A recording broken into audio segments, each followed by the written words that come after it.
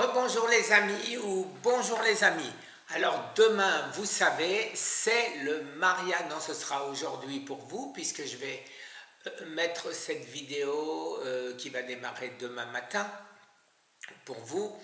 Et donc, euh, je vais vous dire ce que je vais emmener comme matériel pour photographier et non pas filmer puisque les films c'est pas moi euh, le mariage de ma fille.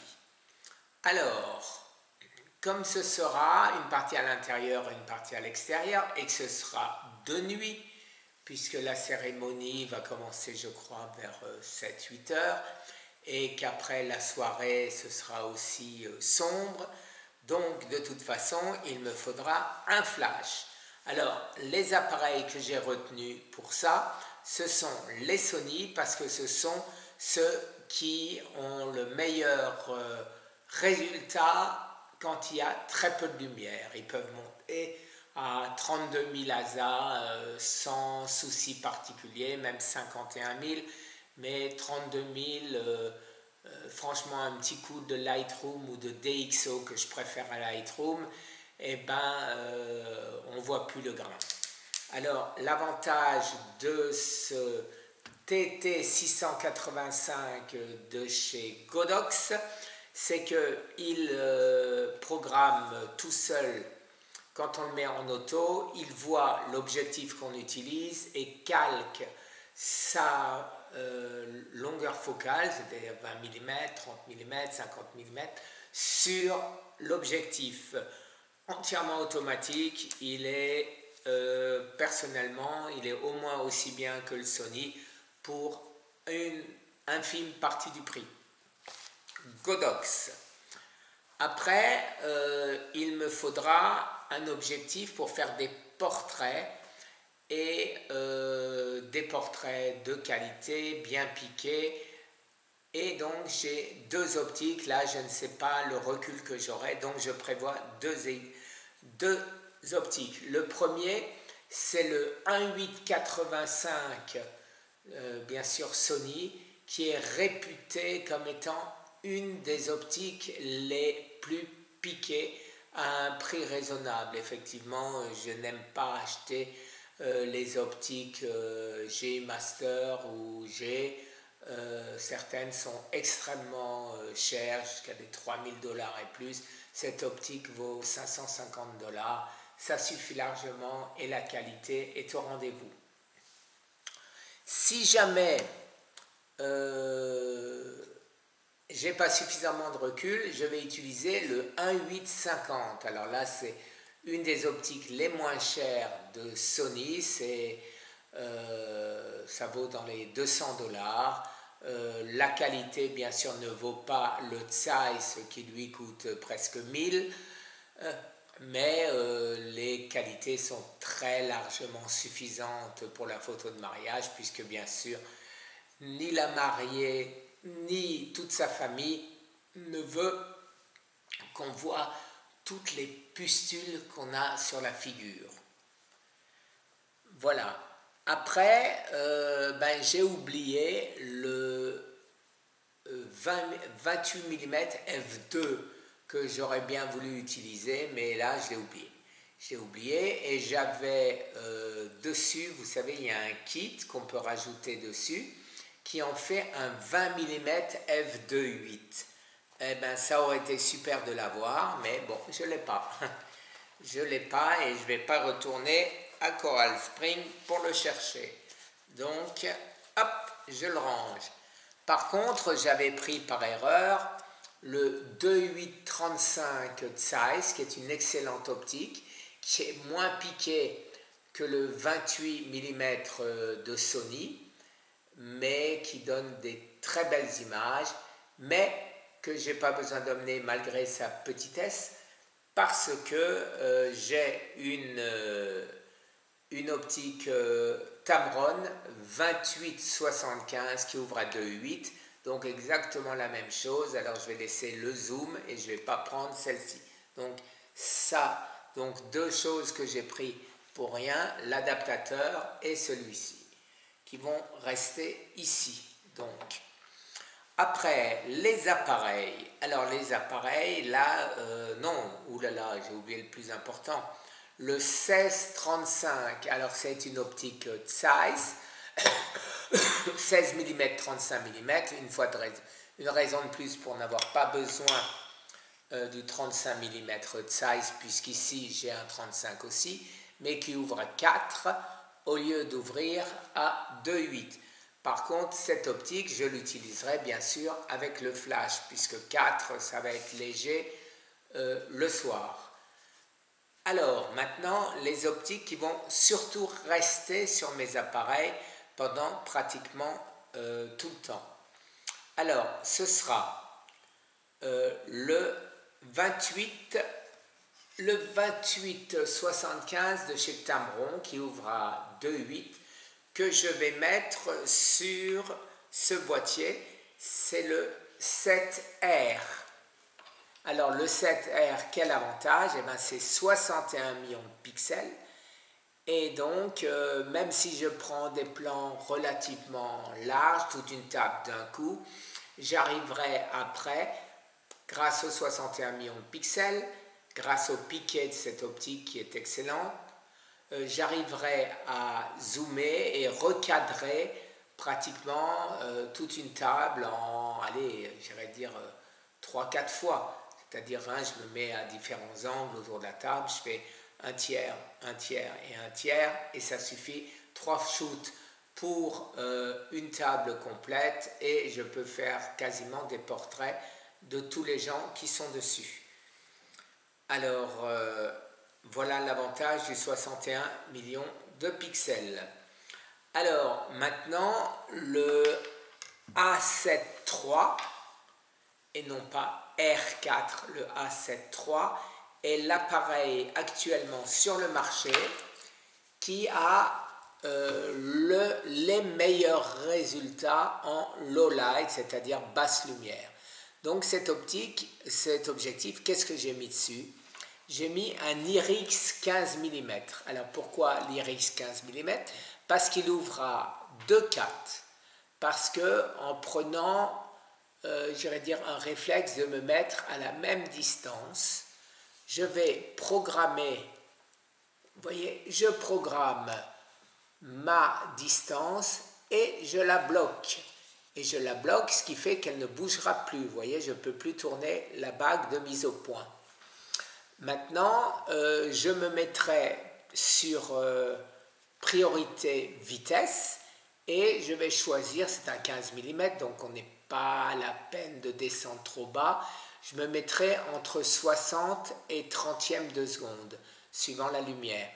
Euh, j'éviterai d'essayer de monter au-dessus de 24 000 ASA, mais si j'arrive à rester à 12 000, ce sera encore mieux et je vais avoir, je suppose, de euh, très bonnes photos.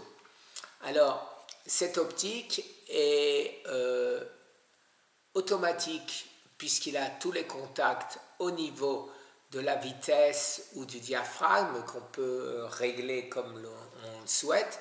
Par contre, il n'y a que la mise au point qui n'est pas automatique, mais avec le focus picking, vous savez ce que c'est, c'est ça devient tout rouge ou tout bleu, tout ce qui est net. Donc immédiatement, vous mettez, vous voyez que c'est net, vous voyez qu'une personne n'est pas tout à fait nette, hop, vous reculez de 50 cm, elle est nette et vous déclenchez. Donc c'est très rapide, sur un 15 mm, il n'y a vraiment pas besoin de mise au point automatique. Donc euh, ce sera à mon avis, et j'aurai un type de photo que je pense, que je pense le vrai, entre guillemets, photographe professionnel qui vient euh, faire les photos, ce sera un style de photo qu'il n'aura pas. Parce que je n'ai jamais vu personne euh, filmer ou photographier plutôt en 15 mm un mariage. Donc euh, ça va faire des photos où j'arriverai à avoir l'ensemble du buffet, la salle, toutes les chaises, toutes les tables réunies sur pratiquement une seule photo au lieu d'avoir des petits morceaux. Donc ce sera des photos souvenirs que ma fille sera contente d'avoir. Elle râle un peu parce qu'elle préférerait qu'au lieu de jouer avec mes appareils de photo à son mariage, je sois présent pour euh, danser avec elle et je lui explique que ce sera très dur pour moi de rester assis à regarder les gens manger. Alors euh, même si euh, j'amène euh, un concombre, un brocoli et puis je sais pas trop quoi encore, une boîte de sardines, ça va pas être terrible. Donc je préfère être occupé et m'amuser à faire des photos qui, j'en suis sûr, quand elle les verra après, eh ben, elle sera bien contente. Et je lui ai demandé de demander aux photographes professionnels qui font les photos de shooter en RAW et de me donner les fichiers bruts. Comme ça, je pourrais, en plus de ce que fera le photographe professionnel, je pourrais les reprendre, les toucher, les améliorer, faire joujou et surtout comparer avec les miennes. Comparer avec les miennes, je sais qu'ils ont du très bon matériel, euh, c'est Canon, du, euh, les, les, appareils, euh, disons dans la gamme Canon, c'est des DSLR, des réflexes, qui sont réputés. je sais qu'ils n'ont pas de mirrorless.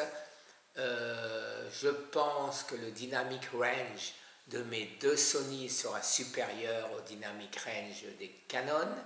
Donc c'est bien pourquoi je veux absolument qu'ils me donnent les fichiers RAW pour pouvoir corriger parce que je suppose que je ne sais pas combien de photos ils vont donner, mais à tous les coups, ils vont juste faire euh, allez, euh, réglage automatique, euh, voyez, avec un logiciel comme Photoshop ou Lightroom et personnellement, je vais euh, euh, les retoucher une à une proprement pour les améliorer.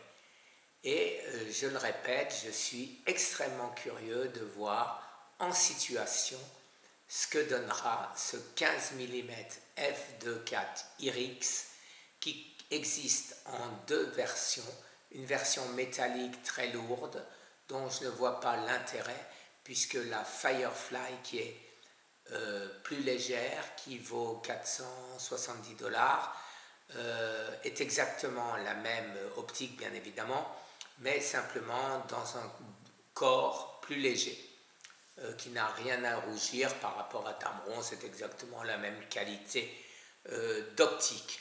Bien sûr, ça n'a néanmoins rien à voir avec les optiques de qualité Zeiss comme ce 35 mm ou euh, ce 16-35.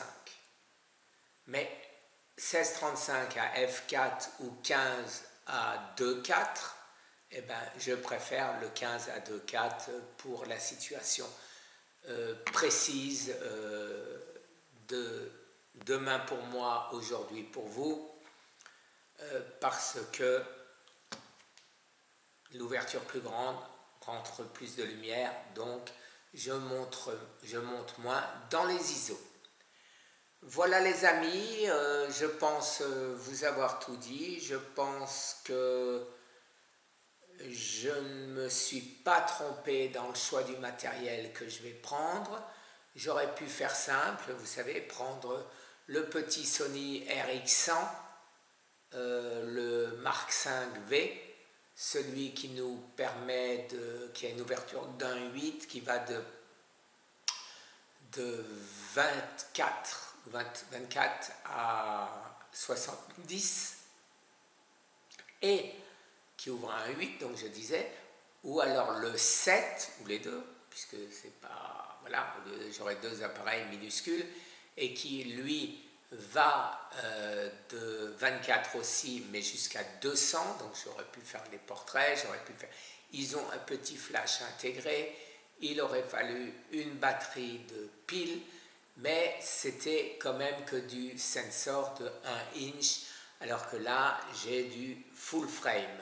Donc je pense malgré tout, euh, autrement, quel serait encore l'intérêt euh, d'acheter des appareils aussi chers, aussi encombrants et par rapport à des petits appareils.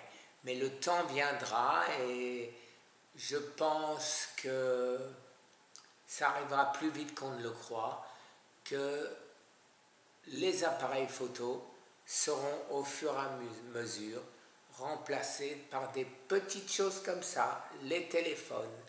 Les téléphones, actuellement avec les progrès en software, eh ben, on arrive à simuler les résultats euh, d'appareils photo full frame avec un background blurry, c'est-à-dire un fond arrière euh, flou.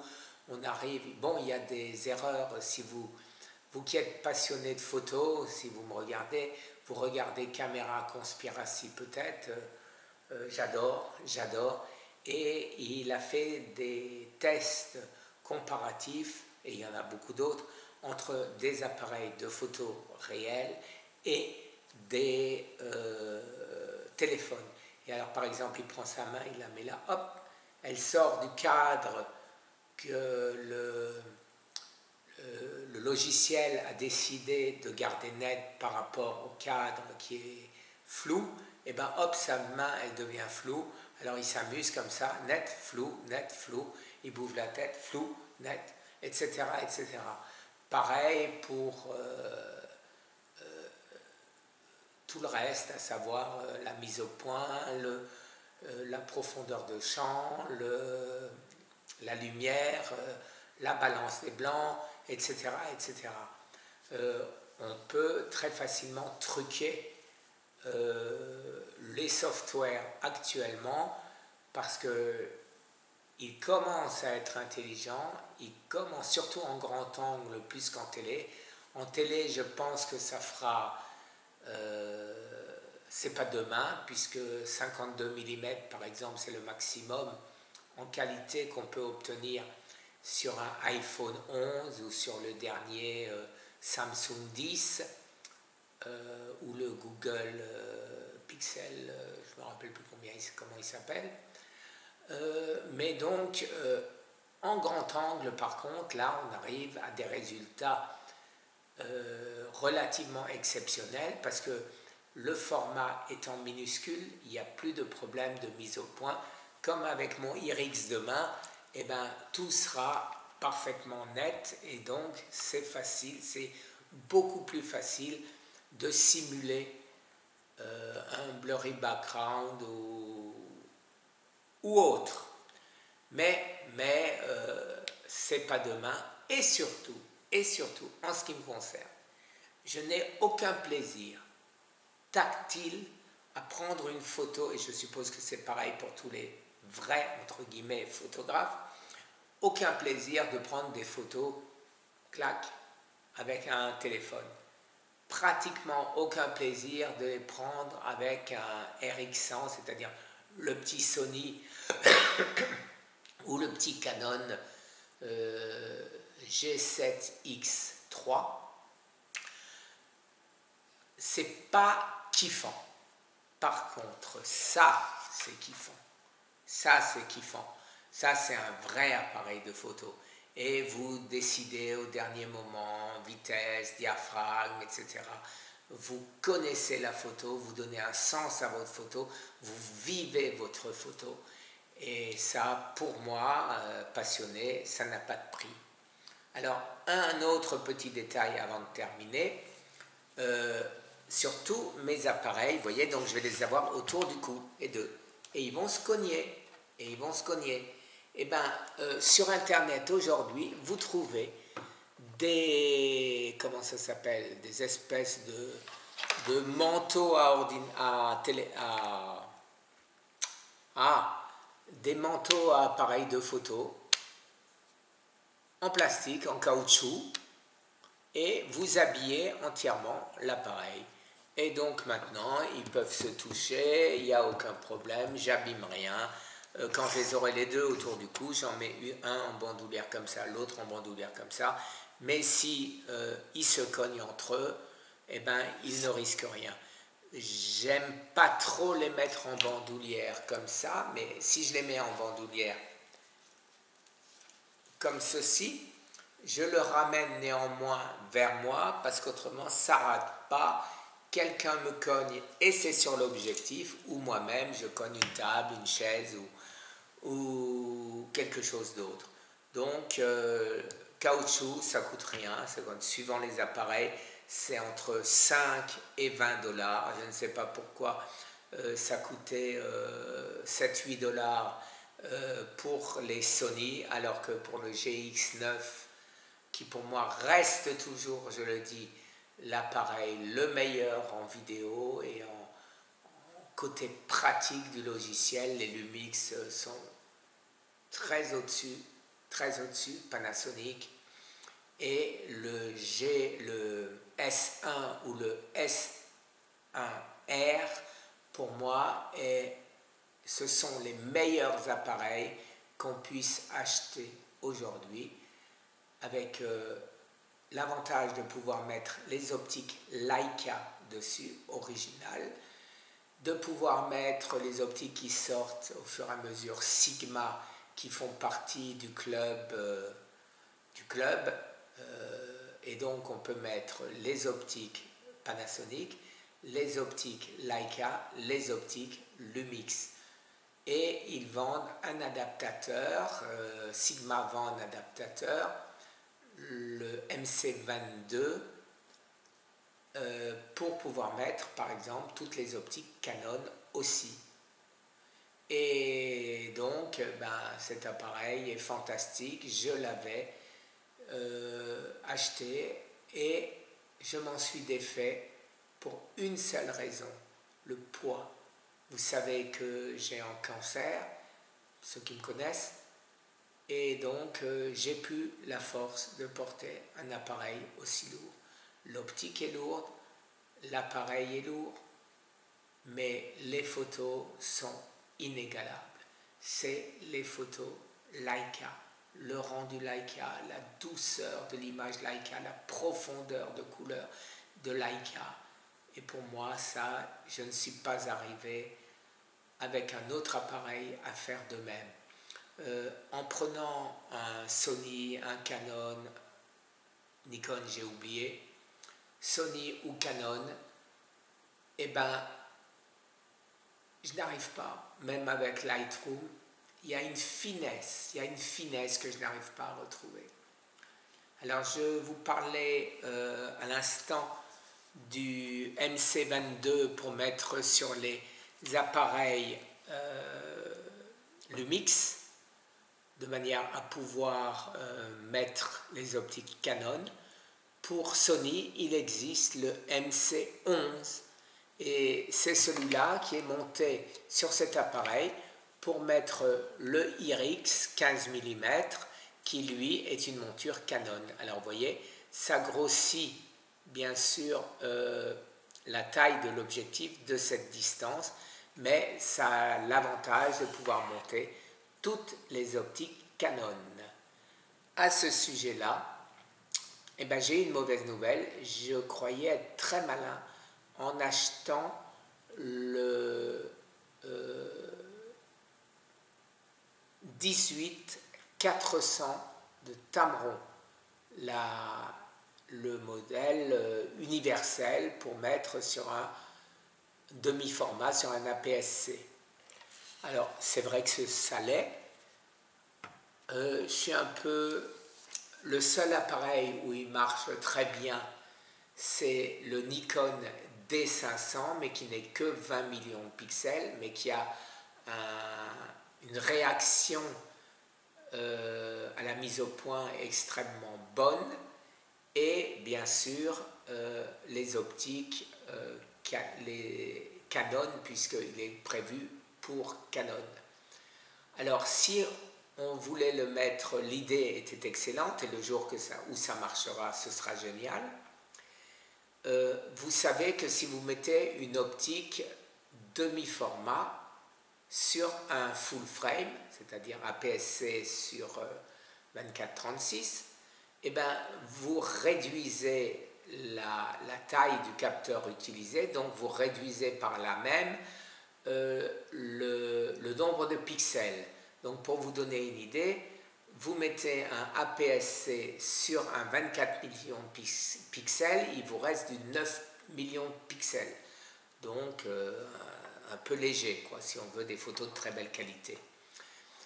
Par contre, sur le dernier Nikon, si vous mettez des optiques demi-format de 61 millions de pixels, vous passez à 28 millions de pixels, c'est-à-dire supérieur aux appareils 24-36 euh, normaux qui ont 24 millions de pixels.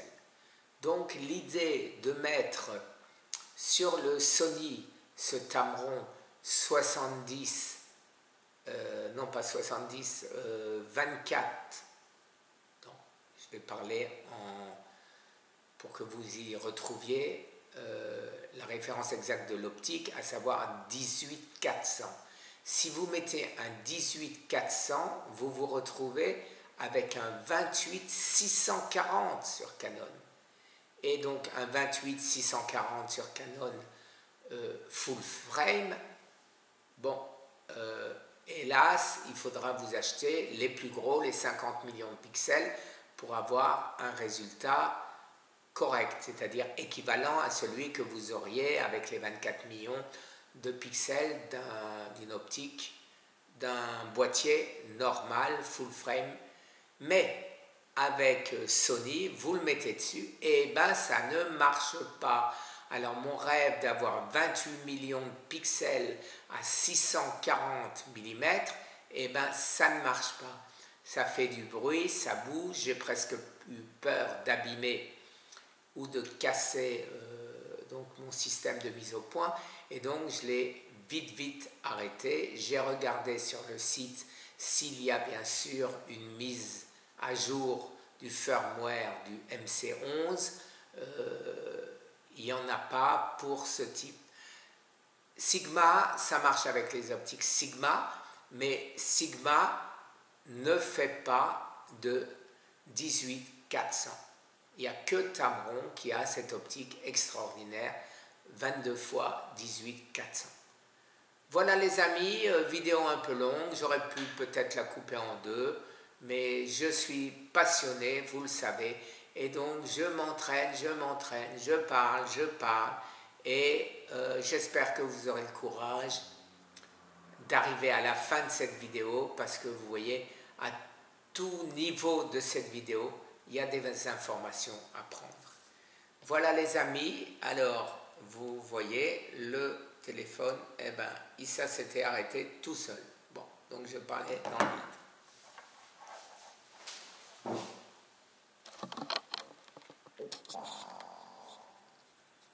Eh ben non.